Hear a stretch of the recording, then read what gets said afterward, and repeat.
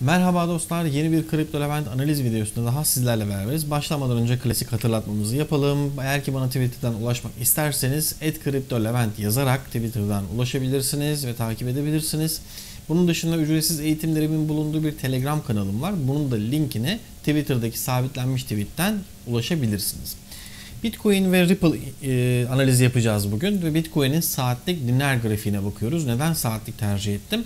Burada bir üçgen oluşumu var ve bu üçgenin temaslarını burada içerideki hareketleri daha net görebilmek adına saatlik grafiğe bakıyoruz. Biliyorsunuz ben günlük ve logaritmik grafik genelde tercih ediyorum özellikle Bitcoin'de.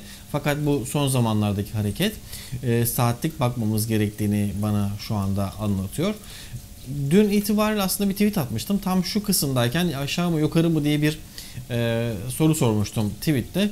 Bunun da aslında çok gecikmeden hemen bir saat içerisinde e, Bitcoin'de cevabını ver, verir gibi bir şey yaptı. İlk önce sert bir hareketle aşağı yaparak aşağı giderek longları sonra sert bir şekilde yukarı giderek de shortları patlatıp akabinde yavaş yavaş aşağı doğru süzülmeye başladı ve bu gidiş e, zannediyorum şu son mumla da beraber 8800'lerin bize yolunu açmış görünüyor arkadaşlar. Burada bir desteğimiz var. Bunun dışında bir de yukarıdan gelen yani şu kırmızı çizgi görüyorsunuz 13K'lardan itibaren gelen şöyle biraz daha geniş bakalım. 13K'lardan itibaren gelen bir türlü aşamadığımız tepeler ve bir alçalan trend var. Bu alçalan trend de bizim aslında şu an itibariyle desteğimiz olabilir. Çünkü 25 Ekim'de şu bölümde sert bir yükseliş görmüştük. Şimdi onun üstüne çıkmıştık. Fakat tekrar bir aşağı doğru gidiş söz konusu. Yani şu üçgeni aşağı kırmış görünüyor dostlar. Ee, burada 8800 bizim ilk desteğimiz akabinde ise buranı, burayı kırıp e, aşağı doğru gelmesi durumunda 8700 civarları bize destek olabilir.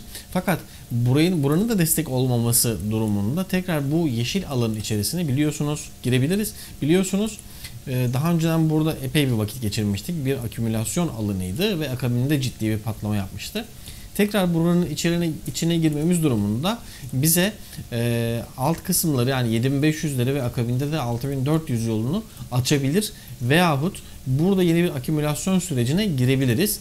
Şu anda tabi 6400 veya 7500 söylemek için erken biraz. Neyi takip edeceğiz biz? Desteklerimize göre hareket edeceğiz. 8800'den bir destek bulup yukarı doğru giderse tekrar bir analiz yaparız ve tekrar değerlendiririz. Fakat şu anda ee, orası destek olacak mı olmayacak mı bilmiyoruz. Onun dışında 9800 civarları ise bizim direncimiz görüyorsunuz şurada 3-4 defa deneyip kıramayıp tekrar aşağı doğru yönünü çevirdi ve e, sert satışlar gördük kimi zaman bazı mumlarda. Bu da bize 8800 yolunu biraz açmış görünüyor şu an itibariyle. Ben ee, şeyde Bitcoin'de bu aralar gün içi trade'i size tavsiye etmiyorum. Aslında e, altcoin'lerde de çok tavsiye etmiyorum. Bu bir yatırım tavsiyesi değildir. Kendi analizlerinizi yapıp kendiniz değerlendirmenizi tavsiye ediyorum. Çünkü ben bir yön belirleyici değilim sonuçta. Ee, kendi paranızdan siz mesulsünüz. Fakat ben size 8800 ve 8700'lerin bir destek olduğunu ve 9800'ün de bir direnç olduğunu bu e, geçmiş veriler ışığında söyleyebilirim. Buraya göre hareket etmek daha mantıklı. Şimdi Ripple tarafına bakarsak eğer Ripple'ı biliyorsunuz bir süredir inceliyoruz ve ben 4088 e, hedefim olduğunu söylemiştim. Ripple'ın da çok güzel bir yükselişi var. Böyle bir kanal içinde hareket ettikten sonra tekrar yukarı doğru e, hareket edip burada şu kısımda bir aşırılık var gördüğünüz gibi. İşte bu da Bitcoin'in yani burası da 25 Aralık'a denk geliyor pardon 25 Ekim'e denk geliyor. Bu 25 Ekim'deki e, hareket e, ciddi bir düşüş sağlıyor dostlar. Akabinde burada tekrar bir trend oluşturmuş görünüyor. Daha doğrusu bu aslına bakarsanız biraz daha geriden geliyor gördüğünüz gibi. Bu da Ripple'ın e, yükseliş trendlerinin aslında hala sona ermediğinin bir göstergesidir. Eğer ki bu trendi aşağı doğru kırarsa yükselişten ziyade artık bir düşüşe doğru e, döndürdü diyebiliriz. Fakat zaten ben şunu da belirtmiştim. E, bu üstteki destek çizgisinin yani destek trendinin ve alttaki destek trendinin ki kanalı oluşturuyorlardı. Bu iki çizginin de kırılması halinde e, stoplanması gerektiğini söylemiştim. Nitekim bakın şurada şu yeşil kareyle gösterdiğimiz alanda gayet güzel çalışmış. Akabinde bu sert düşüşteki yeşil mumu görüyorsunuz. Burada da gayet güzel bir çalışma var. Fakat Bitcoin'in sert yükselişi devam ettiğinden dolayı ve Bitcoin'in dominansı yani insanların altlardan çıkıp e, Bitcoin'e ve daha e, stabil coinlere kaymasından dolayı altlarda bu düşüşleri ve aşırılıkları görebiliyoruz. Ripple'ın ben güzel günler göreceğini inanıyorum gelecekte. Fakat onun dışında da kısa kısa vadede bu e, büyük e, düşüş trendinin artık sonlanıp biraz daha yükselişe geçtiğini şu kısımda görebiliriz dostlar.